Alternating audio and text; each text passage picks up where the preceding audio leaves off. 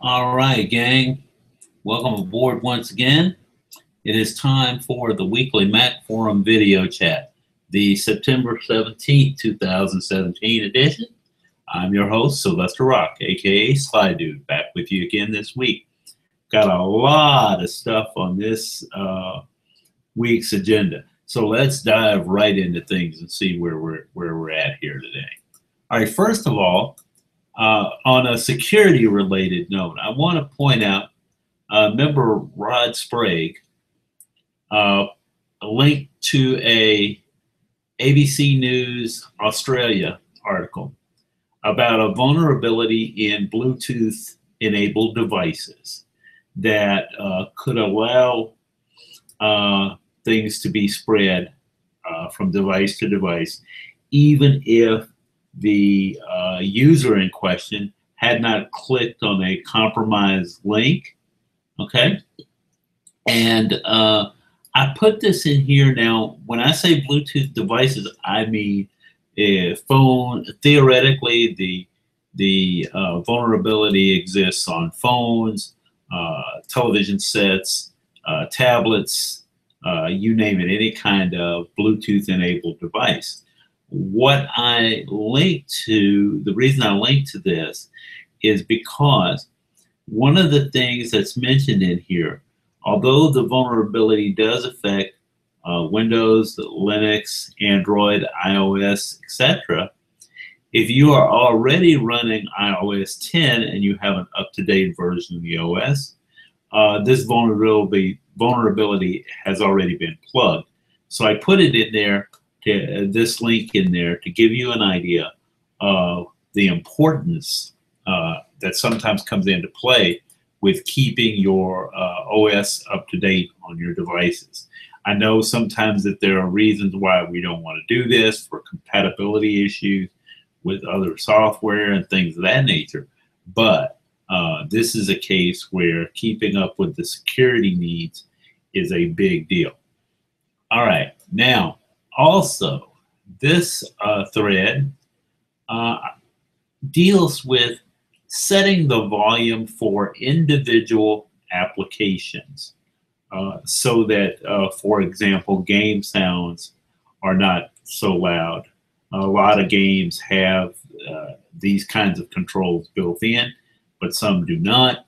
And the question arose as to whether uh, there were some uh, free alternatives that would give you control over the volume of an application. Uh, I believe you can do this with, with, things like Audio Hijack Pro, but it's not a free uh, program. It does a variety of other things. Uh, I linked to two different pieces of software that I'm testing uh, in this thread just to see if they'll do that. One of them I had already had on my system. Uh, I'm not sure I have it configured uh, the way I wanted to. But uh, the re main reason I'm linked to this thread is not because of the software being discussed, but because uh, the member in question asked about whether if you have a, a piece of demo software, for example, uh, whether it would auto bill your credit card when the time ran out on the demo. And uh, they spoke of it in terms of in app purchases. So let's get a little clarification here. And I'll, I'll tell you what I've noticed based. First of all, in app purchases seems to be uh, something that is for lack of a better word, unique to uh, iOS platform and, and similar, the mobile platform. I, I, know Android, I believe, uses that as well. But uh, within the Mac realm, first of all, if you are in the uh, Mac App Store, it uh, you don't see application demos in there really.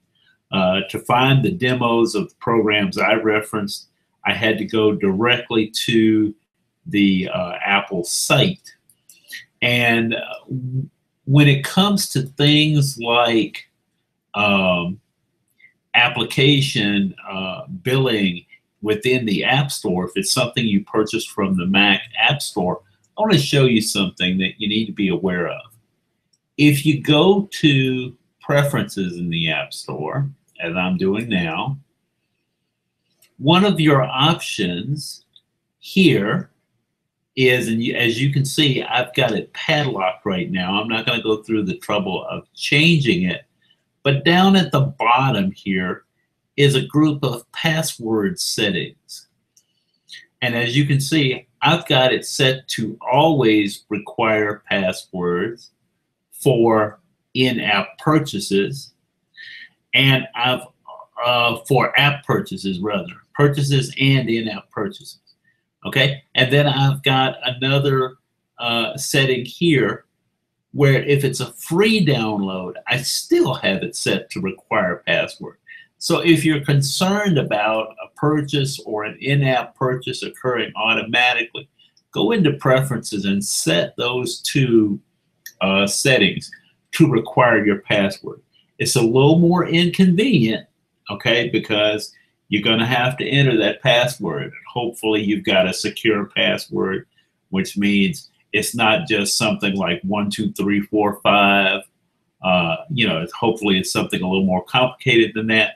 I realize that's a little inconvenient to have to do, but it's one more uh, security measure that you can uh, take to make sure that you're not automatically billed for something that you don't want. Okay. Uh, now we're going to get into some things that uh, I'm going to spend a little bit of time on this tonight. And probably I'll be discussing this again next week with an eye toward some solutions to the things that we're about to discuss. Um, I had not really noticed. I have my iTunes, uh, my uh, Mac set to update the software because usually I don't have a problem and I had not noticed until uh, remember Charlie uh, mentioned that uh, there were some changes, some significant changes to iTunes 12.7, which is the release uh, that came out earlier this week. Uh, and let's just see if I can go through this without uh, really confusing you. There are some things that have been moved in iTunes uh, 12.7, and there are some features that were in iTunes 12.7 that were not in, uh, that are not in there anymore. Uh, they're handled differently. Uh, a number of things, and we'll get to those in a minute. But there are some there's some discussion of that in this thread. You might find the discussion interesting. And uh, just to give you a heads up, uh, our old buddy Kirk McElhearn, who used to be known as Kirk the iTunes guy, when he was writing for about iTunes over at MacWorld, uh, summarizes some of these um, changes. Uh, first of all, the App Store, okay, is gone from iTunes, okay? And just to give you an idea, okay, I'm to launch iTunes here. And what, what happens is this. Uh, in the old days, i.e. just a couple weeks ago, if you were running iTunes, I'm going to slide iTunes over to my other uh, window here. All right, now, in the quote-unquote old days, if I'm in music right now, go to apps, I could click right here change to apps, and it would show me uh, the the App Store as well as uh, the apps that are in my library. That's not there anymore. That's completely gone. Now I have to tell you, uh, I've been one of the complainers when it comes to iTunes and it trying to do too much. Okay, I was one of those people that complained that maybe they needed to split up iTunes didn't quite figure they were going to do it quite this way. Okay, so things like application management and device syncing are not being handled in iTunes 12.7. Uh, we'll deal with that in a minute, how to get it. Ringtones are not there listed in 12.7 anymore. Okay, iTunes University is now split into two different places.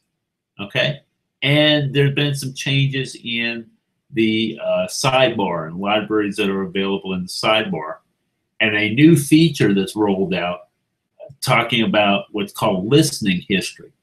And that's the ability to share what you've listened to with your friends and followers. Okay? Now, and that's if you check that within the preferences. If you check the preferences to allow it, you're allowing iTunes to share this information. Okay? And I'm going to keep an eye on his site because he's promised to write uh, something more about this when uh, iOS launches, when iOS 11 launches. And uh, I'll have an update for you on that in a little bit. But let's go ahead and let's move on through iTunes. If this is not a detailed enough article for you, because it does open up some issues about how we're going to manage applications. Right now, the intention seems to be that you will load applications on your iOS device and that when you get ready to do uh, a restore, that you'll just restore these from uh, download. Uh, I can see that being a potential issue for those of you that have uh, smaller data plans or you don't you don't have a great signal uh, and and and you maybe rely on your cellular connection as opposed to using Wi-Fi. So I'm going to talk a little bit more about that next next week. I can see that affecting the way I manage things because in the past, uh, I've always kept my apps on my Mac, and when I needed to restore my phone, I could do it in a matter of a few minutes. It could conceivably take longer now. And let me tell you, uh, I know about that restoration procedure because a couple, three times now, I've forgotten my restrictions passcode and had to erase the phone. Uh, this time, it would involve re-downloading applications. Now, uh, if I wait until I get home to do that, which is usually where I am, I can connect via Wi-Fi, and that won't be an issue. But when you're downloading uh, all of your apps that way, and uh, I don't see a way right now, okay, without possibly some third party software. Um, what if you have multiple iOS devices? Uh, for example, you own an iPad and an iPhone. You download the app, uh, and now you got to go back and download it again. You know, so uh, this is some things that I'm looking at. I'll talk about more about this next week. But this article on TidBITS um, talks a little bit more. It may go into a little more detail than the article that I uh, showed you originally. I'll also have a link in tonight's show about Apple's uh, understanding and Apple's concept of how you should handle uh, these issues. Okay?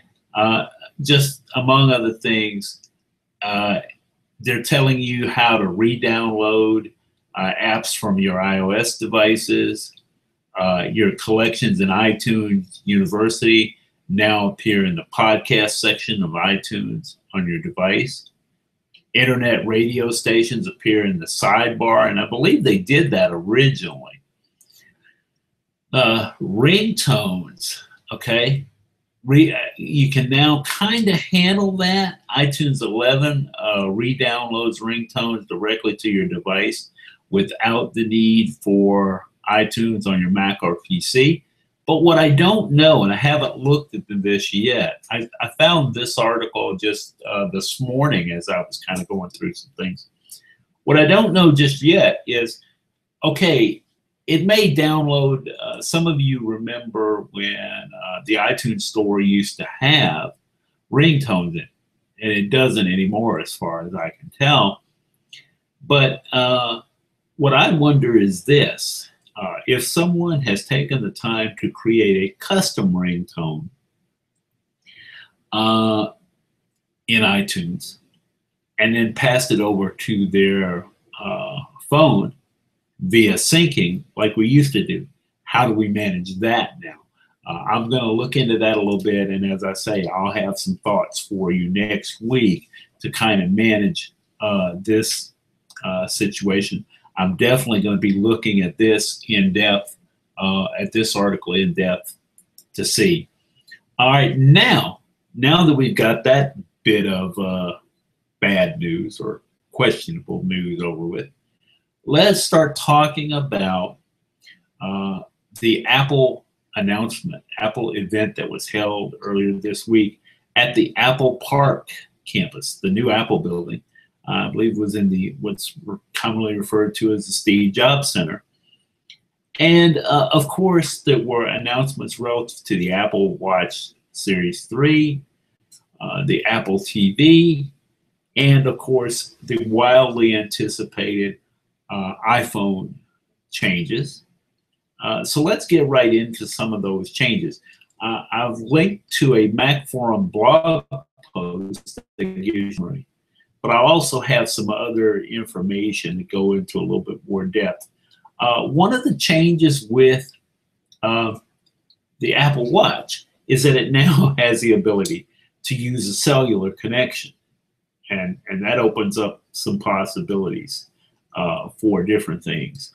And uh, in a minute, uh, I'll give you a, a, link to where you can find some information on just how much the uh, various carriers are going to be charging here in the U.S. for uh, a data plan for the uh, Apple Watch.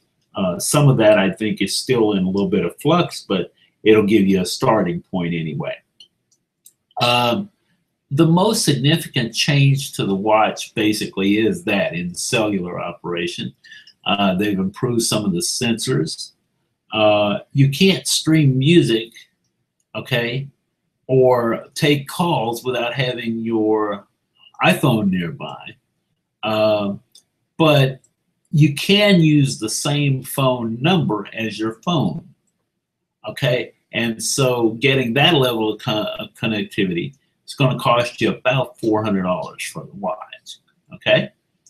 Uh, and of course, the new sports features have been enhanced. Uh, GPS tracking has been enhanced. The heart rate sensor has apparently been improved significantly. Okay. Uh, things like that. Uh, those some of those are interesting to me. Uh, the Apple TV uh, is interesting to me because we've been thinking about uh, getting a new one anyway. I'm kind of limping along on the Apple TV 3, which is not quite as open to applications as the Apple TV 4 is. Uh, and so, with this new one that would replace the Apple TV 4, one of the changes is 4K video. Okay, and the base price is starting at about $179. Uh, that's for the 32 gigabyte model. Um, I've seen some pricing. Uh, the 64 gigabyte model is going to run something less than 200, right around 200. It's about a 20 to 30 dollar difference over the prices that I was seeing on the Apple TV 4. All right.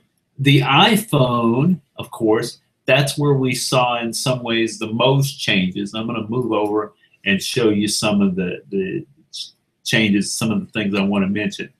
Uh, of course, you've got the iPhone 10, uh, which is the anniversary edition, 10th anniversary of the iPhone. And as you can see, one of the changes is uh, this glass the the whole front edge, front screen here basically is glass. Uh, the side here, stainless steel, and of course you've got the three buttons here. Uh, if you'll notice, the home button is missing on this model. It does not have the fingerprint ID slash home button. Okay, the iPhone uh, X or iPhone 10 is pre-ordered uh, beginning in October 27th is going to be available um, November 3rd. The pricing that I'm seeing says the base price something on the order of $1,000 for the base model. And I want to pull up a little more information just to give you a good look at this uh, as I go forward. Let's take a look at the technical specs here, what you're getting for your $1,000. All right, the uh, capacities, a 64 gigabyte model and a 256 gigabyte model. Uh, weight, five inches high, uh, just under three inches wide, uh, depth of three tenths of an inch, and weighs about six, uh, less than six and a half ounces. Uh, a 5.8 inch display. It's higher resolution than even uh, the iPhone 8. We'll get to that in a minute. 3D touch, of course, is built in. And one of the things it's using the A11 chip that was talked about in uh, the keynote this summer, earlier this summer. Uh, camera improvements, including portrait lighting mode, six element auto-focusing have been improved, uh, all of those things. But one of the things with the camera changes that has come about with the uh, anniversary edition with the iPhone 10 is facial identification. In other words, where normally now we are using our fingerprint or a passcode uh, to get into our phones, in theory, you could use facial identification. You don't have to, okay? You can still get in using your, your fingerprint or passcode, but uh, or or passcode rather. You don't have to use facial ID, but obviously it, it's an option on the anniversary model. Uh, if one of you guys wants to give me an anniversary model for my birthday, uh, I won't be buying that one anytime soon because it, as I say, it starts at around about a grand. Uh, but facial recognition, according to Apple, it is pretty good initially, and then it will adapt uh, to you. And it shouldn't be fooled by things like uh, whether you're wearing glasses versus not wearing glasses, uh, whether you're, you know, changes like growing a beard versus not. Uh, if it's using the kind of biometrics uh, that have been available before in the past uh, for facial recognition software, it shouldn't be easily tricked by them, uh, by these kinds of changes. Now, I've seen, uh, I haven't watched the video yet, but I saw uh, a link on YouTube the other day uh, saying that uh, the recognition feature had failed when Tim Cook tried to demo it, much in much the same way that uh, Bill Gates had had a failure while demonstrating Windows. So we'll see how that comes up. Now, when you're looking at carriers, be aware of something, okay?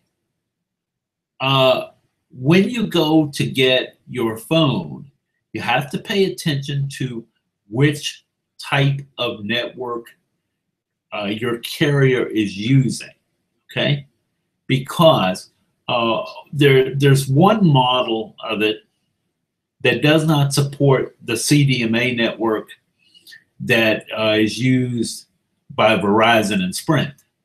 It's not that you can't get a phone that will work. It's just you have to be careful which one you get. So if you're going through a third party and not going directly through your carrier, make sure to check to see which type of uh, of radio it needs. Uh, and of course, that should be uh, an interesting thing to have to think about. Uh, one other change, uh, in addition to the ones that I've already mentioned, the 3.5 millimeter headphone jack is no more. Uh, you connect through a lightning adapter, a lightning connector, and connect your headphones through there. Although if you've got a good pair of headphones that you or earbuds that use the old headphone jack, like on a six or a five, you can still use those because included in the box is an adapter. Now, uh, it the anniversary edition is supposed to have uh, two hours more battery life than the iPhone 7, uh, talk time up to 21 hours, 12 hours of internet use, uh, and of course, it's got some sensors for facial ID, barometrics, uh, three-axis gyro, accelerometer, uh, ambient light sensor, and proximity sensor. Uh, that gives you an idea of that model. The 8, the iPhone 8, the standard model, is a little different. Uh, it doesn't cost you quite a grand. You can pre-order it beginning in uh, September 15th, and it'll be available by the 22nd. And the changes, basically, the a lot of the guts, the hardware is the same.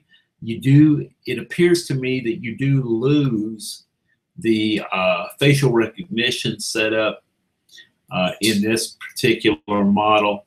And once again, I'm gonna, I'm gonna pull up the tech specs real quick here. Uh, you notice I didn't spend a lot of time going through spec by spec because I think that's easier to read than to hear me talk about. But same thing, 64 gigabyte model and a 256 now, uh, gigabyte. Now, I was wrong about one thing that I said last week. I was anticipating that the floor for capacity would be 32 gig instead of 64. Missed it on that one, okay? Uh, but you can see both models, uh, some, some different things. It's got the same uh, dust splash water resistance as the anniversary model, same A11 chip. Uh, there have been some changes to the cameras there, um, changes to some of the sensors. Uh, a lot of that is the same. You don't have the facial recognition. You do have a seven megapixel FaceTime camera and, and, and you still can use Touch ID because it still has the uh, home button. Same note about the carrier. Make sure that you get the one that has the right radio for your kind of carrier. Your carrier can assist you with that. Uh, make sure you get the right one for uh, the right, because they can easily tell you what type of uh, system they are using. Of course, we talked a little bit about the Apple Watch. The Apple TV uh, is going to support 4K. That's the biggest change. Uh, whereas previous models have not uh, supported 4K, this one does. and that I think that is partly Apple was a little bit late to the 4K game. I think in part because uh, there just hasn't been a lot of 4K available uh, content available, and recently it's starting to appear a little bit more. And the other reason to push them in the uh, several of the vendors already have phones out that support 4K. And and here's I think the thing that pushed it. Down on the bottom here, you'll see a compare models. Let's go ahead and click on that. But I think the other thing that drove Apple to making this version support 4K is that now their flagship phones, uh, the sevens, the eights, uh, and, and, the anniversary edition, support shooting in 4K, and more and more 4K television sets are available. So obviously, people are going to want to uh, play back their content in that. So as you can see here, uh, the 32 gigabyte model is going to start at about $180. The 64 gigabyte model will be just under 200. Uh, and that's about, as I say, that's about a $30 difference from uh, the current uh, Apple TV. The chip has been improved. Uh, the networking now goes up to gigabit networking if you are using uh, a wired connection. It's HDMI 2 as opposed to 1.4. Of course, you've got the Siri remote and with the accelerometer and all of that. Uh, size and weight is not significantly changed. In fact, it doesn't look like it's changed at all, really. audio output now Dolby Digital Plus with 7.1 surround sound. That hasn't changed. And so the changes are minor, but if you're like me and you're still stuck in the uh, iPhone 3, I mean, excuse me, the Apple TV 3, that might be something to look at, particularly if you are interested in uh, some of the applications that are becoming available. So that'll be something to keep you chewing on. And as I delve into these things a little bit more and read some of the reviews, I'll have more information. Uh, once again, TidBITS has got some good summaries of uh, Apple TV, uh, iOS, and the whole uh, summary of the whole uh, event. So that'll keep you busy with a little bit of reading. I've got a comparison page linked to that shows you the different iPhone models and what their what their uh, features are, just in case you're going to be buying and you need a good place to start looking. And then, of course, I, I mentioned to you that I would have a link to the cellular pricing for the Apple Watch. And I have that as well. I haven't read through all of that because not being an Apple Watch person, this is not going to be an issue for me for a while. Uh, looks like Verizon is going to charge an extra $10 a month for using an Apple Watch under their plan if you use that number share service. Okay, but the first three months free for a limited time, and it's a one-time $30 activation fee. AT&T similarly will cost about an extra $10 a month. Uh, first three months free in the form of a $30 credit. Uh, looks like T-Mobile, uh, $10 a month. So most of the U.S. carriers seem to be charging about $10 a month. Check into it a little bit though, because sometimes they'll give you a little bit of a break if you do things like sign up for electronic bill pay uh, and things of that nature. Some of them also have discounts if you are a member of particular organizations uh, school employees, things like that. So, so uh, check into that and recheck periodically because those discounts are constantly changing as they try to snag uh, customers from each other. All right, that's going to wrap up the uh, event coverage. I still haven't watched that entire keynote. Haven't, haven't really had time. I've been kind of reading through some some of the uh, summaries on the net. But one other little tid, couple other little tidbits that I want to sneak in here for you. Uh, first of all, uh, I, I've been running the uh, High Sierra public beta since shortly after it came out. And I got an email the other day that basically says G Golden Master, which is the last beta in in software development parlance uh, a GM candidate is hoped to be the last beta before uh, the final release. So this would be the this would indicate that this is going to be probably be the last beta before High Sierra is released. That's available now. Okay, the final release for iOS and tvOS will be available September 19th.